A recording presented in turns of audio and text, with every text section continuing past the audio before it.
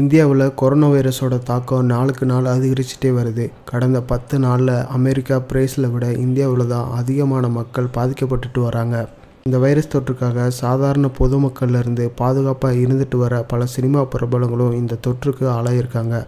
அதில் முக்கியமாக சமீபத்தில் பாதிக்கப்பட்ட பாலிவுட் நடிகரான அமிதாப் பச்சன் அபிஷேக் பச்சன் ஐஸ்வர்யா ராய் மற்றும் அவங்களோட குழந்தைகள்லாம் இந்த வைரஸுக்கு பாதிக்கப்பட்டு வராங்க. அது மட்டும் இல்லாமல் தமிழ் சினிமாவில் இருக்க பல நடிகர் நடிகைகளும் இந்த வைரஸ் தொற்றுக்கு ஆளாயிட்டு வராங்க அந்த வகையில் பிரபல டேரக்டர் மணிரத்னம் இயக்கத்தில் வெளிவந்த உயிரை திரைப்படத்தில் தைய தையா பாடலுக்கு நடனம் ஆடினவங்க தான் மலைக்கா அரோரா.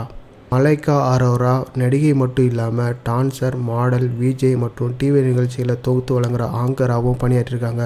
அது மட்டும் இல்லாமல் பல திரைப்படங்களில் இவங்க நடித்ததுனால ஹிந்தி திரையுலகில் இவங்க ஒரு பெரிய பிரபலம்னே சொல்லலாம். இவங்க பிரபல நடிகரான சல்மான் கானோட சகோதரரான அர்பாஸ் கானை காதலித்து கடந்த ஆயிரத்தி தொள்ளாயிரத்தி தொண்ணூத்தெட்டில் திருமணம் பண்ணிக்கிட்டாங்க. அதுக்கப்புறமா ரெண்டு பேருக்குமே கருத்து வேறுபாடு காரணமாக ரெண்டாயிரத்தி பதினேழாம் ஆண்டு முறைப்படி விவாகரத்தம் பட்டுக்கிட்டாங்க. இவங்களுக்கு இப்போ ஹர்கான் என்ற ஒரு மகனும் இருக்கான். நாற்பத்தாறு வயதான மல்லிகை அரோரா இப்போ சமீபத்தில் நடிகர் அர்ஜுன் கபூர் கூட லிவிங் ரிலேஷன்ஷிப்பில் இருந்துட்டு வராங்க. தன்னை விட இளம் வயதான நடிகர் கூட லிவிங் ரிலேஷன்ஷிப்பில் இருந்துட்டு வர விஷயம் இந்தி திரையுலகத்தில் பெருமை பரபரப்பாக சர்ச்சையாக பேசப்பட்டு வந்துச்சு.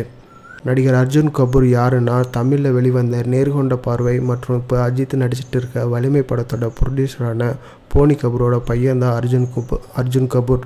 போனி கபூர் தமிழ் நடிகையான ஸ்ரீதேவியை திருமணம் பண்ணிக்கிட்டாரு. ஆனால் அதுக்கு முன்னாடியே ஒரு மனைவியை காதலித்து திருமணம் பண்ணிக்கிட்டு பின்னர் அவரையும் டைவர்ஸ் பண்ணாங்க அவங்களுக்கு பிறந்த மகன் தான் அர்ஜுன் கபூர்.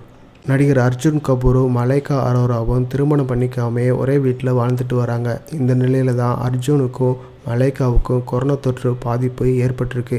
இதனால் கடந்த ஒரு வாரத்துக்கு முன்னாடி இந்த சம்பவத்தை உறுதி பண்ண அவங்க இப்போ தனித்தனியாக தனிமையில் தன்னை தனிமைப்படுத்திக்கொண்டு வீட்டில் இருந்துட்டு வராங்க.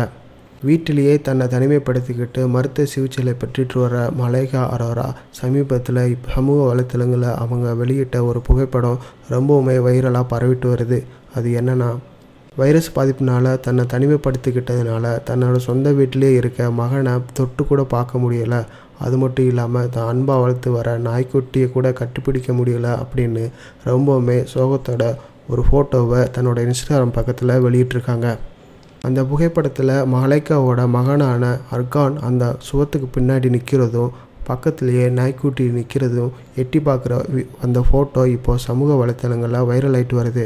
இது மட்டும் இல்லாமல் இந்த நிலைமை யாருக்குமே வரக்கூடாது. சொந்த மகனையே தொட்டு பார்த்து கட்டுப்பிடிக்க முடியாத நிலையில் நான் இருக்கேன் அப்படின்னு ரொம்பவுமே மனம் உருகி வேதனையோட பதிவு செஞ்சுருக்காங்க மலைக்கா அரோரா.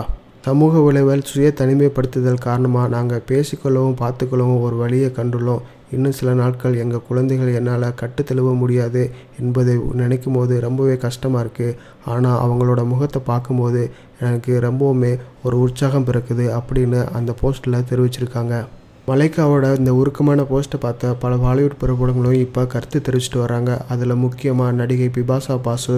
நீங்கள் ஏற்கனவே பல சோதனைகளை கடந்து வந்திருக்கீங்க. நீங்கள் ரொம்பவே வலிமையானவங்க. கூடிய சீக்கிரமே உங்கள் குழந்தைகளை உங்கள் நாய்க்குட்டியும் கட்டிப்பிடிப்பீங்க அப்படின்னு சொன்னது மட்டும் இல்லாமல் இவங்களோட பதிவுக்கு பல சினிமா பிரபலங்களான அமிர்தா அரோரா தியா மிர்சா சோபி சவுத்ரி ட்விங்கிள் கண்ணா போன்றவர் தங்களோட கமெண்ட்களை தெரிவித்து மலைக்கா அரோராவுக்கு ஆறுதல்களை சொல்லிட்டு வராங்க அடுத்த வீடியோ பார்க்குறதுக்கு முன்னாடி எங்களோட சற்றுமுன் சேனலை சப்ஸ்கிரைப் பண்ணிவிட்டு கீழே இருக்க பெல் ஐக்கானை ப்ரெஸ் பண்ணிக்கோங்க.